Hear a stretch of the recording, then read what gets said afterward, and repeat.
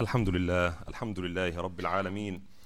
الحمد لله حمدا كثيرا طيبا مباركا فيه كما يحب ربنا ويرضى. يا ربي لك الحمد كما ينبغي لجلال وجهك وعظيم سلطانك. وأشهد أن لا إله إلا الله وحده لا شريك له.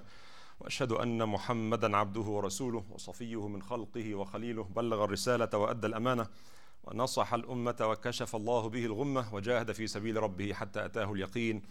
اللهم ارزه عنا وعن والدينا وعن الإسلام والمسلمين خير ما جازيت به نبيا عن قومه ورسولا عن أمته. اللهم إحنا على سنته وتوفنا على ملته وأوردنا حوضه واسقنا من يده الشريفة شربة هنيئة لا نظمأ بعدها أبدا. اللهم اجمع بيننا وبينه كما آمنا به ولم نره. ولا تفرق بيننا وبينه حتى تدخلنا مدخله. ثم أما بعد my dear respected brothers and sisters um, since we are going to start inshallah um, tonight um, a history class um, I thought it might be a good idea to talk about the importance of studying history um, with the objective that um, um, I hopefully can convince you to come and attend, inshallah, this um, uh, class. People usually ask, um, we are so busy with our present and somehow worry about the future. So why bother studying the past? We don't have time or energy to uh, um, study the past. We're just focusing so much on the immediate need um, today and the need of the near future. Uh, others argue that the results of engineering or people in science and medicine, we can see the, the result of their work tangible and immediate. Engineers build roads and highways and bridges and tunnels, uh, buildings, things we can see, and doctors also innovate new treatments and medicine and so on. So, what do historians do? What is the real value of being a historian uh, or to study um, uh, history? Um, I would argue today that history is extremely useful, and some historians actually say it's not only useful, it's essential, although the result is less immediate and less tangible. Um, studying history in the past used to um, serve the objective of being distinguished um, uh, or to, to, make the distinction between the educated and the less educated people. People usually um, quote terminologies and names of the past just to show that they are um, uh, well informed and highly educated. But in fact, the study of history goes way beyond this. And I'll just um, summarize the, what I believe to be the importance of studying history in few uh, quick points. One of the most important um, benefits of studying history is that studying history helps us understand people and societies. And to make sense of the world in which we live, we have to go back to see what causes the world to be the way it is today. Our world today, as we see it and live in it, is nothing but accumulation of human experience in different fields. And similarly, for us to imagine our future, we have to act now if we want really to bring about a um, constructive and meaningful change in the future. And sociologists actually attempted to develop a number of laws or theories about how things happen. And this is exactly what Al-Quran al-Karim talked about. قل سيروا في الأرض فانظروا كيف كان عاقبة الذي كيف كان عاقبة المكذبين. قد خلت من قبلكم سنن. Similar situations as yours have passed on before you. So proceed throughout the earth and observe how was the end of those who denied. As there are laws that um, um, physicists and, and people in science study, there are also laws in civilizations and societies. The systems we know today, the economical system, the political system, the social system, educational system, did not just come out of the blue. But again, it has been developed over time, and it's important for us to be oriented to know where we're coming from, and um, hopefully we can tell where we are um, going to. So, studying these sunan, these laws or theories of history is more than memorizing or knowing historical information. You can read a book so you can get the information, but there's a big difference between getting this information and being able to analyze this information to reach conclusions that's useful for us today and the future. And this is what Ibn Khaldun actually started, one of the great Muslim um, uh, um, philosophers and historians, and um, many believe that he is the founder of sociology as we understand it today. Um, he wrote a wonderful book called Tarikh, uh, Al-Tarikh, uh, or Tarikh ibn Khaldun, and the introduction of this book of history is amazing. and I encourage you all to uh, find it and read it. In this muqaddimah, it's known as al-muqaddimah, the introduction of history, in which he laid down the sunan and the laws that um, control the human behavior and how civilizations emerge, get stronger, and then get weaker, and then they die. And he applied this to all civilizations, and interestingly, it fits perfectly for every uh, civilization, including Islamic civilizations. So, history serves, importantly, serves as, as the evidential basis for us. It is a huge bank of information. That's the only source for us to present evidence when we analyze the um, historical events. Also, history influenced our life. Uh, as Americans, as Muslims, we can tell where we get this or that from, why, why we behave this way. To be a good Muslim, it means that you have to be aware of history. Because every reading of the Quran, even if you read the Quran in a superficial level, you cannot miss the fact that Al Quran emphasizes the importance of history and telling us stories. Big portion of Al Quran is nothing but stories. كلا نقص عليك من أنباء الرسل ما نثبت به فؤادك. The story of Adam and story of Nuh alayhi salam, Ibrahim, Musa and Isa, and, um, Shu'aib and Salih. These stories have been mentioned in a big portion of Al Quran. And Al Quran makes points through history. Al Quran uses history as an evidence that people cannot deny. This is what happened. Right? So, knowing history means that we need to understand how history affect us positively or negatively. Positive, positively or negatively. Just going for Hajj or Umrah, it's to me it's it's an open history book. When you go to Medina and Mecca, everywhere, every spot in Mecca and Medina and between reminds us of something significant happened at the time of the Prophet which affects our life today. And are huge, particular historic events that still affecting us today. The fact that Muslims are divided into Sunni and Shia, this emerged as a sequence of events in a particular time. And still, up until now, in Ashura, we have the Shia Muslims, they celebrate it in a certain way that reflects their understanding of history. And this division manifested or have been materialized in, in Muslim areas. We hear about these wars and conflicts and, and, and bloodshed. It's because the Umayyads in the past, they killed the grandson of the Prophet ﷺ, and they established a new political system. A dynasty, the Umayyad dynasty. It established this dictatorship and replaced Shura with dictatorship. Whoever is powerful can consume power and rule, and then the king appoint his son to be the next king, and so on and so forth. And this is influencing us and affecting us as how we understand our life and how we have been divided. So it's important to understand that history is no longer a boring book that people, most of the people don't like actually to read, right?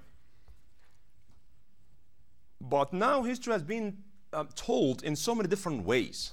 It's a novel, it's a movie, um, animation, biographies that combine both artistic aspect and huma- hum- human aspect as well. So you watch a movie, sometimes people cry because they saw how these soldiers fought and how these pious and good people have been murdered it's telling history in different ways. And they used to say that history, um, told, is beautiful. So it's not only one way of telling history. History also helps us to test our moral values and moral sense when we read the history of people of courage, um, people who um, weathered so many challenges faithfully. This, this reminds us of, of or, or help us compare our lifestyle with their lifestyle, our moral values with their moral values. It's not just um, history or, or, or um, a work of um, uh, fiction that talks about some heroes. It's a real people. Real people like you and I were put in uh, very difficult situations, but they managed to weather these situations because of their faith and their principles. When we read the Quran, also Quran tells us clearly, do you think that you'll enter paradise without going through the same harsh experience that those who came before you went through? Do you think that that easy to claim they are Muslims and this in of itself will give you the ticket to paradise? In other words, Al-Quran says, no, this is not the way it works. The way it works is that you have to go through the test that other people went through. And we know the story, I'm sure you have heard a number of times when Khabbab ibn came to the Prophet ﷺ after being badly tortured and said, Ya Rasulullah, why don't you make dua for us? And then the Prophet ﷺ told him about what happened to the believers before us. Right? So when we study history, this will help us evaluate and assess our moral values comparing to um, others. History, importantly, also provide identity. We cannot live without identity. We have multiple identities, and each one of them comes from a certain way or certain roots. And those people who feel rootless, they live kind of um, rootless life and they don't really have meaning for their life. They don't care. Where I came from does not make any um, um, importance to them. And of course, by this, people damage, of course, damage to themselves and to others as well. But if you really want to see how important history is in giving and providing us identity, sense of identity, ask the African American here why history is important and why Malcolm X called himself Malcolm X. Because he knows for sure that his last name given to him by his master is not his real last name. And he does not belong to this last name. And since he does not really know what his real last name, then he decided to call himself Malcolm X because he has his roots in Africa. And, and denying the history, it means denying part of who we are as if you are taking part of someone's identity. Ask the Jews why history is very important for them. Because it's, it's not just history, it is history, it's identity, it is theology, it's everything. It's everything for them. And they always say, never again. I visited Imam Abdullah Al Amin, uh, who at that time was the Imam of the Muslim Center I was doing an oral history uh, class project, and I decided to interview him and to um, do or conduct this interview based on what we learned in oral history methodology. And when I went to his office, I noticed very clearly, you can see that his office and the way that leads to his office as if you are in a museum. And a sign was hanged in, his, um, uh, in the wall of his office where there are two arrows. One says white and other say for colors. And he said this um, science, a real science, not just not make it up. He said that this a real sign has was been there, posted somewhere um, for um, water fountain. So white drink from one place. And I told them, why, why are putting it here? And to me, it was like a reminder of humiliation in the past that people don't. I said, no, no, no, we want to remember this. We don't want to forget about this. And he told me, Don't you hear the Jews say never again regarding the Holocaust? We also remember this, and say, never again. Never again, because it's part of who we are. We have been through this, and we don't want our children to suffer as we have suffered. And interestingly, um, he took me, uh, gave me a tour in the masjid, and uh, there is a um, like a small um, uh, store where they sell clothes and books and so on. And most of these things sold there are coming from Africa. And the name of this store inside the masjid was New Africa. And he asked me, Do you know what New Africa means? Why do we call it New Africa? I said, I have no idea. He said, You know, when the European came to America here and discovered it, and they, they named the cities here with the same cities they had in Europe. So they have York in England. So when they came to this piece of land in the far um, east, they called it New York. So every city that starts with new, it has an origin somewhere in Europe. New Jersey, New York, New Orleans, and so on and so forth. So for him, he said, we are calling this New Africa to remind us that we came from Africa. So history is extremely vivid and clear. Once you walk in, similarly, when you walk in any Shia masjid, you can see histories and, and calligraphy that reminds people of who they are and what identity they have. So, for us as, as Muslims, American Muslims, studying history is part of our identity. And unfortunately, many Muslim young generations, they don't really have time or interest in studying history because to them it's not as important. And because it does not make money. And you just need to look at the market and be smart enough to get admitted into schools that would guarantee you a good job when you graduate. This is how we all think. But history is very important as part of our identity. And because it's part of our identity or people's identity, it, usually history has been abused. And we'll talk about this, inshallah, later on. Also, history is important and essential for good citizenship. To be a good citizen, this means that you need to know the history of your country.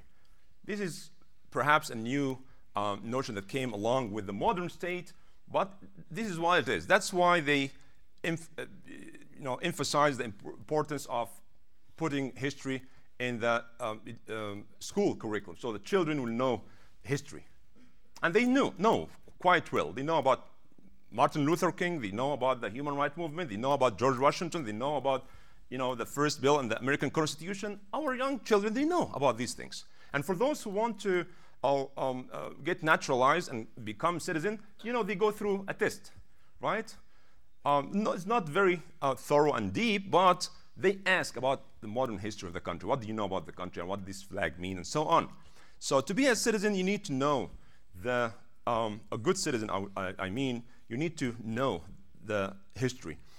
Um, studying history help us assess evidence. Those who study history, they know how to assess um, evidence because they have tons of evidence, and some of them are contradictory, and many of them are not accurate. So, how to assess the evidence as valuable? This is some one of the skills that um, historians um, need to have, and also um, how to assess the conflicting interpretations and um, reach the right conclusion. I just want to end by saying that um, our history is not only Islamic history. Because we have multiple identities, we have also multiple historical backgrounds. So for us as Muslims, we look at Islamic history as part of a larger field of studying that's called human history. Because Muslims uh, did not live in isolation with the rest of the world. They have been influenced by others and also they have influenced other civilizations. So our Islamic history is not just merely a theological history or history of a particular group of people. We need to understand this. And also, we need not to make or to confuse Islamic history with Islam. Islamic history is not Islam. Islamic history is the history of people, of Muslims, who are not perfect. And when we read our Islamic history, we must understand that it's not perfect. And I know this can um, bring some controversy, but you know, from purely academic and scientific background, you don't want to pick and choose from history. You cannot just try to portray our ancestors, Muslim ancestors, as almost angels. They were not angels, they were humans. Um, there are plenty of things that we are proud of in our history, and plenty of incidents also we're ashamed of. Things that we wish did not exist. This example, the fitna, the conflict that happened after the assassination of Uthman radiallahu Most of us don't even like to read it about it. These Sahaba killing each other. I know some of you maybe have been offended now, but this is history. This is our history. It's recorded in our books. All right? And if we don't create our own narrative, someone else will. So don't be surprised when someone brings to you this, okay, so this is what, what happened. And the first reaction is, no, no, no, no, no, it cannot happen. No, it's happened. He's read Al Bukhari and read Ibn Kathir and read At Tabari. It's your book. So our history is not perfect the way it was. And the writing of history is also not perfect, it's not 100% accurate. So that's why we need to assess the evidence and analyze it to reach the most accurate conclusion. But history is not all pure. And I know now in the, in the um, there's a discussion about blasphemy law in some Muslim countries that if you dare to criticize one of the Sahaba, you are kafir and then you should be executed. But that's not history. If you want to give good khutbah and talk about how great um, Muslims were, then, then that, that, that's fine. But if you want to write an academic paper or write a book that has some value, then you need to be objective and to look at things, the good and the evil, the good and the bad, and just reach a scientific, objective conclusion. We cannot just pick and choose. If we really want to benefit from history, we need to benefit from the good things our ancestors did so that we repeat it. And we need also to learn from their mistakes so that we should avoid it. This is what Quran clearly said. Allah said clearly that this is what happened to the nations before you. These are the horrible mistakes they have done. Don't be like them. Because these were the consequences of their evil doing. And when we find something good, something worked, then we should emulate it. We cannot just look at the good things and ignore the bad things that happen in our, um, in our history. That, that's not the way we learn from history. To learn from history is to look at the facts, analyze it, and then reach a conclusion. Finally, we should never turn history into theology. Islamic aqidah, Islamic belief does not come from, from history. That's not the field of this discipline. You may have better understanding of history than I do, but history is history. We should not give more value to history than, than it has. We need just to look at history as one of the disciplines that has its own methodology of study. And again, we might reach different conclusions. That's normal, that's expected because we're dealing with tons of informations here and there, and maybe we analyze it differently. But history remains history. We cannot turn our history or confuse our history with our faith and belief and say, from this moment, if you agree, then you're in. If you disagree, you're out. Because a historic event that took place, no matter how significant it is, but Islam has been completed and perfected before the death of Rasulullah صلى الله عليه وعلى آله وأصحابه أجمعين أقول قولي هذا وأستغفر الله لي ولكم فاستغفروه.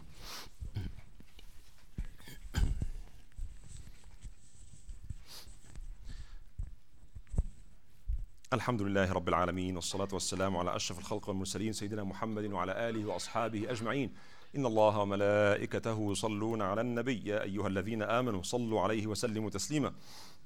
اللهم صل على محمد وعلى آل محمد كما صليت على إبراهيم وعلى آل إبراهيم. وبارك على محمد وعلى آل محمد كما باركت على إبراهيم. وعلى آل إبراهيم في العالمين إنك حميد مجيد. عباد الله اتقوا الله واعلموا أنكم ملاقوه. يا أيها الذين آمنوا اتقوا الله وقولوا قولا سديدا. يصلح لكم أعمالكم. ويغفر لكم ذنوبكم ومن يطع الله ورسوله فقد فاز فوزا عظيما. اللهم إنا نسألك الهدى والتقى والعفاف والغنى. اللهم إنا نسألك رزقا طيبا وعملا متقبلا. اللهم أصلح لنا ديننا الذي هو عصمة أمرنا وأصلح لنا دنيانا التي فيها معاشنا وأصلح لنا آخرتنا التي إليها معادنا. اللهم اجعل الحياة زيادة لنا في كل خير واجعل الموت راحة لنا من كل شر. يا حي يا قيوم برحمتك نستغيث فأصلح لنا شأننا كله. اللهم لا تكلنا إلى أنفسنا طرفة عين ولا إلى أحد من الناس يا رب العالمين. اللهم كن مع إخواننا المسلمين المستضعفين في أرض في كل مكان من أرضك يا رب العالمين.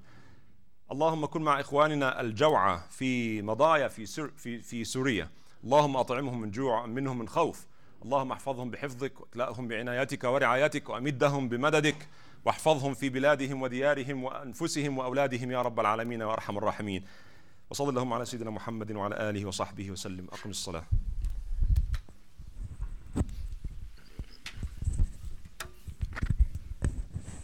Allahu Ekber, Allahu Ekber, Allahu Ekber, Allahu Ekber. Eşhedü en la ilahe illallah, eşhedü